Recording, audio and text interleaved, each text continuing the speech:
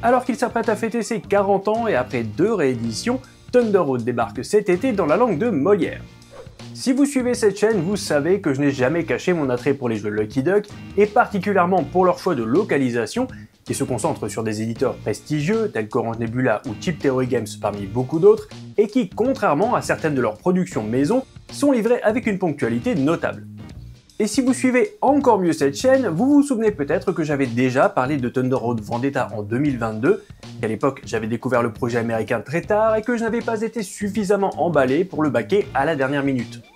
Depuis, un reprint plus extension, toujours en anglais, a été financé, c'était au début de cette année, et malgré ma curiosité toujours vive pour le titre, le ratio poids-encombrement-prix pour un jeu mid-range m'avait encore une fois convaincu de passer mon tour. C'est donc la troisième fois que le jeu de Restoration Games vient frapper à ma porte, mais la première fois que j'ai l'occasion de l'essayer sur table. Alors le projet est-il devenu trop gros ou trop cher pour le gameplay qu'il propose? Jetons un œil ensemble sous le capot de Thunder Road Vendetta.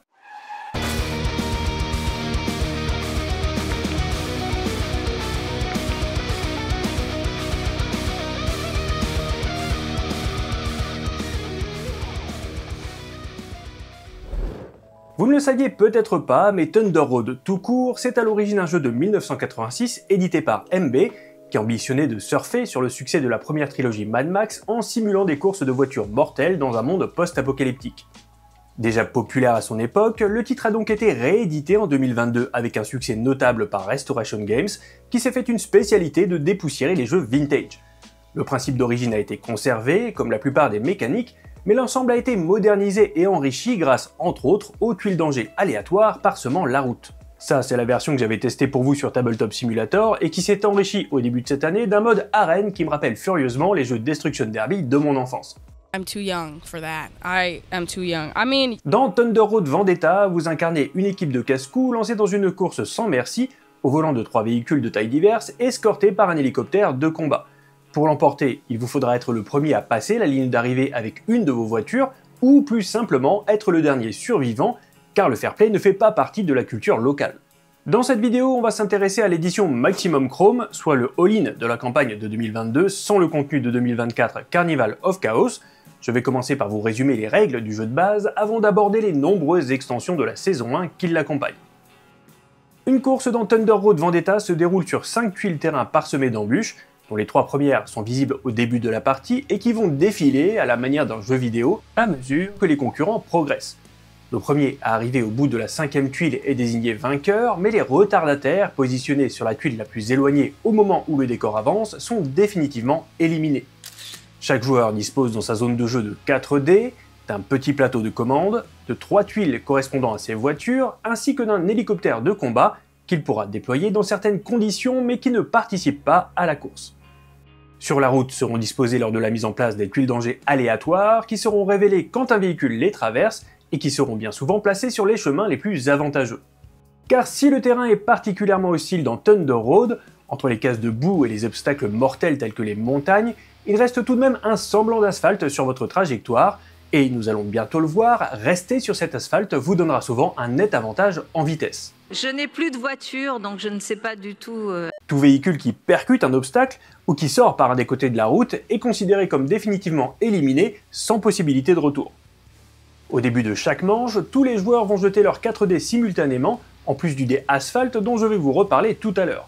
Les participants vont ensuite, chacun à leur tour, affecter un de leurs dés à l'un de leurs véhicules, le petit, le moyen ou le gros. Ce dé représente la distance en case qu'ils vont parcourir. Évidemment, vous devrez dépenser l'intégralité de ces points de déplacement, aussi vous n'aurez pas complètement la main sur votre vitesse, vous devrez choisir parmi les résultats de vos dés. Si votre véhicule passe ou s'arrête sur une tuile danger, vous devez immédiatement la résoudre avant de continuer votre mouvement. Ces tuiles peuvent dissimuler des mines mortelles ou des flaques d'huile vous faisant dévier de votre trajectoire et risquant de vous envoyer contre un mur, mais certaines sont aussi plus neutres et ne cachent qu'une zone boueuse, voire même un asphalte, tout ce qu'il y a de plus inoffensif. Si vous entrez, volontairement ou non, sur la case d'une autre voiture, une collision se produit. Tout mouvement restant est perdu, et vous devez jeter 2 dés afin de déterminer lequel des deux véhicules est éjecté, ainsi que sa direction.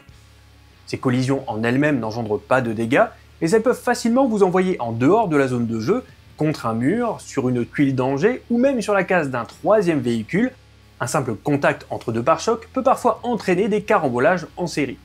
Si vous avez effectué l'intégralité de votre déplacement sur de l'asphalte, bien que cela soit souvent risqué puisque c'est là que se trouve la majorité des tuiles danger, vous pourrez, si vous le souhaitez, vous déplacer d'un nombre de cases supplémentaires déterminé par le D-asphalte, dont la valeur va de 1 à 3 et qui est relancé au début de chaque manche. À la fin de votre déplacement, si un véhicule adverse se trouve dans les trois cases situées directement devant vous, vous aurez l'opportunité de lui tirer dessus. Afin de déterminer votre réussite, vous jetterez un dé indiquant S, M ou L, et si la lettre obtenue correspond à la taille du véhicule, celui-ci subit un dégât.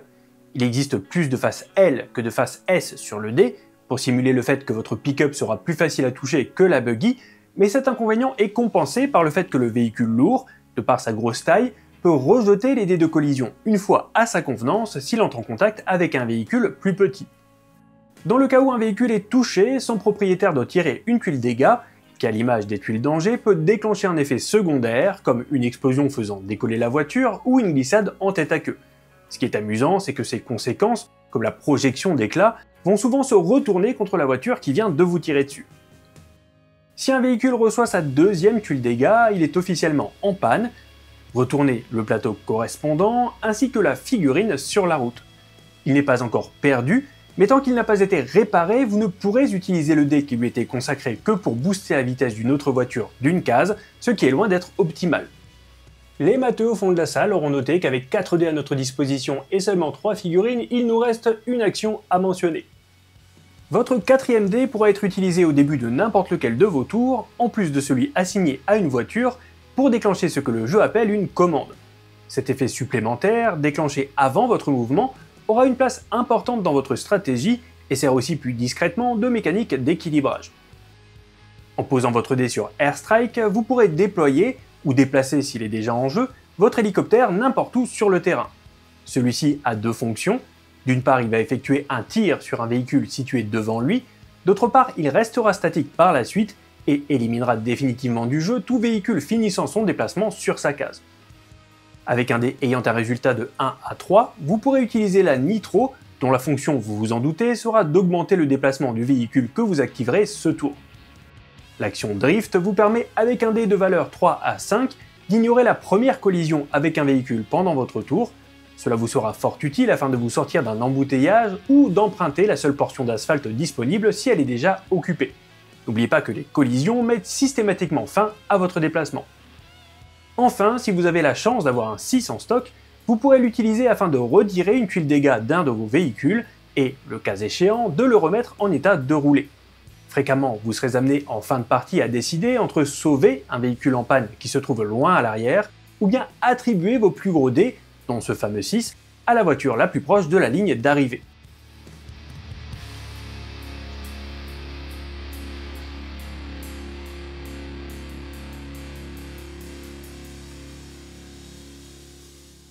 Avant d'aller plus loin, faisons un petit bilan et une rapide analyse mécanique de ce que Thunder Road Vendetta propose dans sa version standard.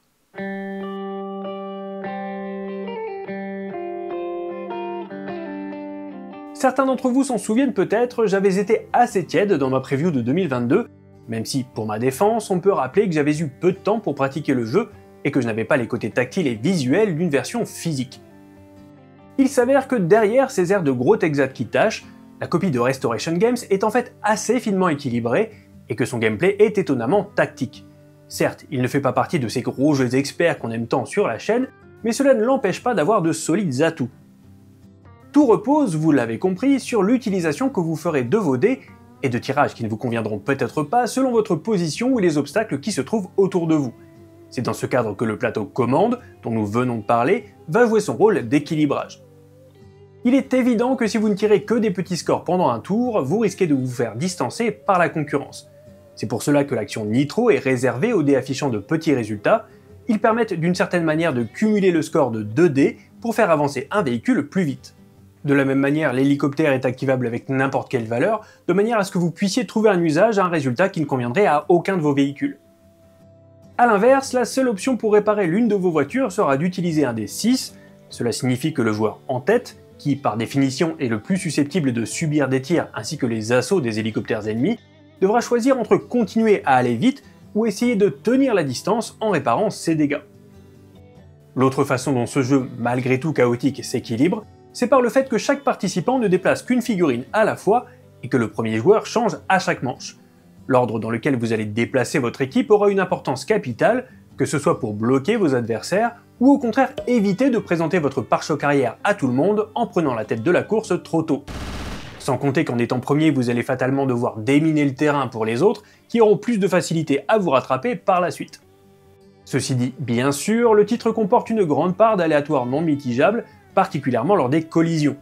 Cela fait partie du fun du jeu, d'autant que ces chocs en eux-mêmes ne génèrent pas de dégâts. Il est donc tout à fait possible de chahuter régulièrement ses concurrents, pour le principe, tant que l'on ne se trouve pas trop près d'un mur.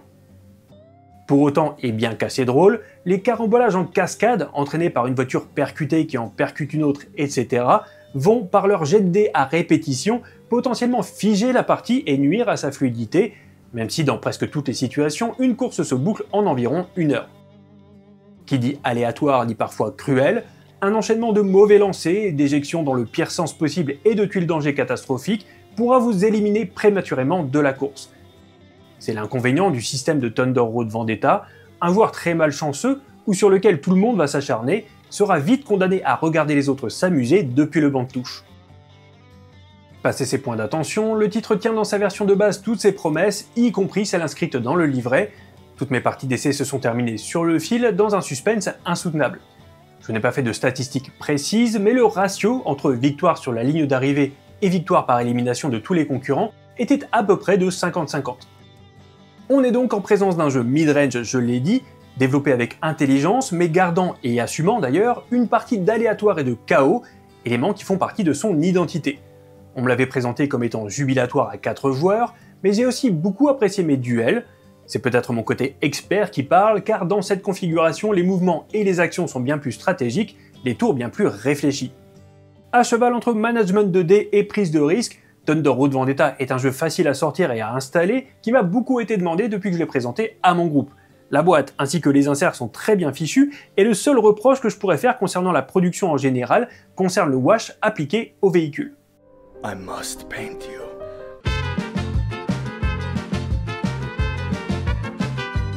Depuis que Woken Dreams a popularisé le principe du Sun Drop, soit le fait de vendre des figurines avec une sous-couche censée mettre en valeur les détails, de nombreux éditeurs leur ont emboîté le pas, pensant qu'il ne devait pas être bien compliqué de tremper les miniatures dans un bol d'encre avant de les vendre. Sauf qu'a priori ce n'est pas si simple que ça, puisque de nombreux studios se sont déjà pris les pieds dans le tapis, ça a été le cas d'Ivy Studios avec une partie de la production de Veiled Fate, et c'est le cas ici avec Restoration Games. Je trouve que la plus-value est nulle, voire même que ce côté sale se fait au détriment du résultat global. Je ne suis d'ailleurs pas certain que le rendu des véhicules en plastique simple, sans la flaque d'encre, soit forcément plus mauvais, ça reste une affaire de goût, mais j'aurais au moins préféré avoir le choix.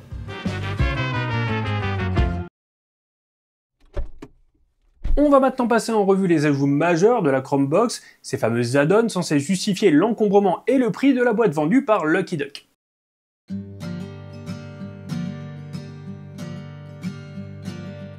À la manière de ce qu'a fait Vindication dans son édition Archive, Thunder Road propose en plus de son jeu de base une myriade de petites extensions. Elles ne seront pas toutes abordées ici pour trois raisons. Ça rendrait la vidéo beaucoup trop longue, je ne les ai pas toutes essayées individuellement, et je doute qu'un blister de 5 cartes en plus ou en moins soit l'argument majeur de votre décision d'achat. Sachez donc que votre boîte contiendra, en plus de ce dont je vais parler ensuite, de nouvelles tuiles route, qui s'accompagnent d'un deck de cartes d'effets persistants, si cet ajout de tuiles est le bienvenu pour améliorer la rejouabilité, celles-ci sont particulièrement hostiles et donc à déconseiller aux débutants. L'ajout d'un nouvel effet On Fire qui est passablement rigolo, mais qui dans la pratique ajoute encore plus d'aléatoire à un jeu qui d'après moi en comporte bien assez. De nouvelles tuiles danger, souvent assez punitives mais aussi assez inspirées, comme le ver des sables qui, quand il est révélé, avale et élimine immédiatement le véhicule le plus à la traîne. Et toute une brouette de micro-modules pour pimenter vos parties, comme un deck conditions de route ou bien un système de bonus à base d'objectifs secondaires secrets. Tous ces éléments vont vous permettre de faire en sorte qu'aucune de vos parties ne se ressemble, bien que de mon point de vue, le jeu de base ne pose pas de problème de rejouabilité. S'ajoutent trois extensions plus majeures que je vous explique en détail. Et on commence par mes deux préférés, The Big Rig et The Final Five. Il s'agit de deux nouvelles équipes disposant de véhicules propres, qui ne fonctionnent pas du tout comme les voitures habituelles, mais qui peuvent être librement ajoutées à celles-ci.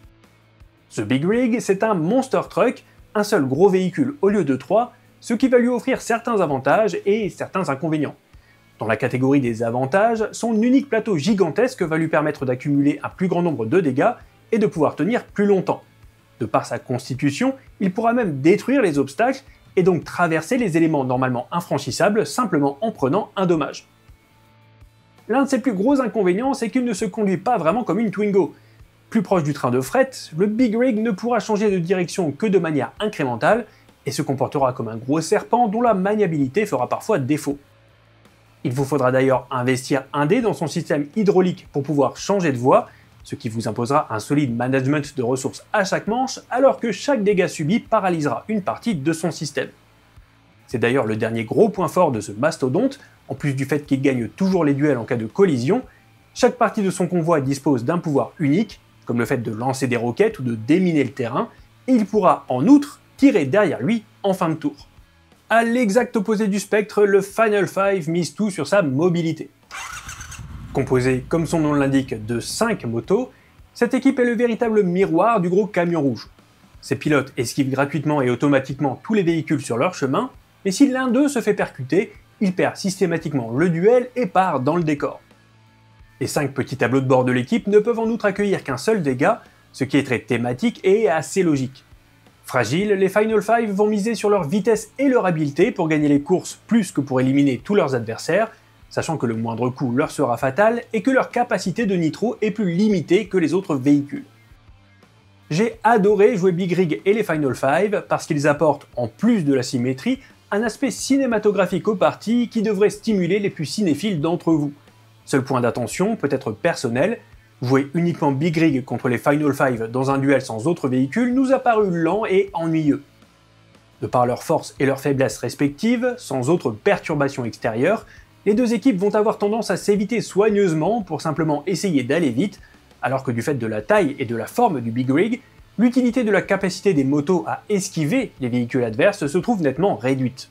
Autre ajout vraiment sympathique, les personnages et le tuning. Une fois les bases du jeu assimilées, vous aurez peut-être envie d'ajouter une touche de vraie asymétrie en intégrant à vos parties le mode Shop Shop et ses leaders.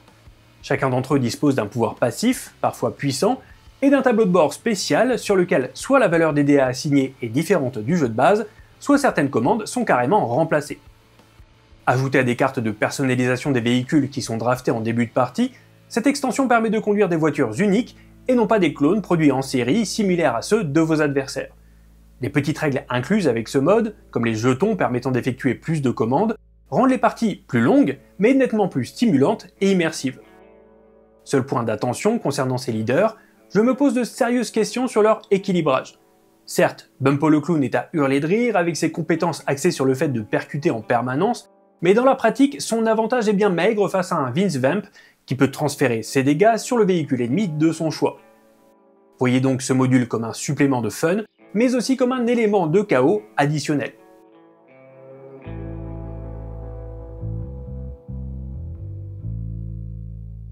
Avec son concept travaillé, sa production presque sans faute et sa direction artistique remarquable, Thunder Road est sans aucun doute un bon jeu.